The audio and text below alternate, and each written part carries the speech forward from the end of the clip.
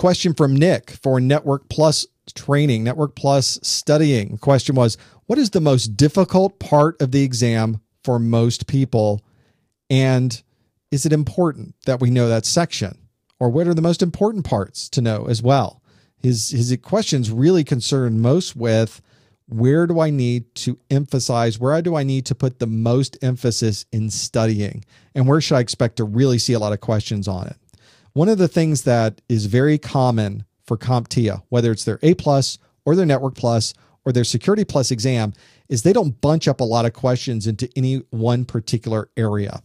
And they will tell you exactly the sections that you need to look at. And I, I always recommend this to go out to the CompTIA website and download their exam objectives document. They have these wonderful, huge PDF documents that tell you exactly what you need to know.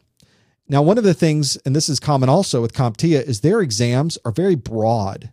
You have to know a lot of pieces of information across a lot of different areas. They're not going to ask you one particular item for 10 questions. You aren't going to get 10 subnetting questions on your Network Plus exam.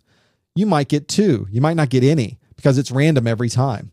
You never know. And there's so much material that the randomization is there. Now, they will tell you for the very broad sections, we're going to show you this much percent of the questions will come from this section, this many percent of the questions will come from another section. So you at least have a pretty good idea of what the different number of questions might be or the different ranges of questions might be for those.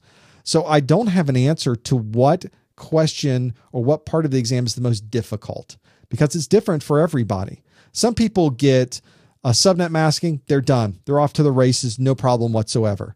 But they get kind of in the weeds when it comes to understanding the security side of it or the routing tables or understanding the different fiber connectors.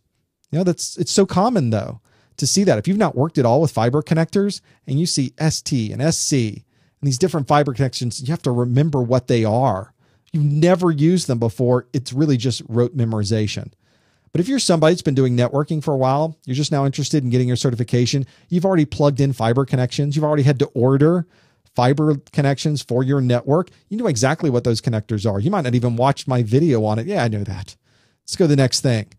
Ooh, I have to know how to look at routing tables. Ooh, I haven't done very much of that. So now you have to study that part. So it's different for everybody. But my my primary my primary suggestion for everybody doing the exam, if you're trying to figure out what's going to be the hardest part, is download the objectives. You'll be able to print it out and go through that list and underline and circle the things that you feel are the ones that are going to cause you a problem. And that'll be your first step to knowing where you should focus your studying efforts. Cross through the things you already know, circle the things you don't.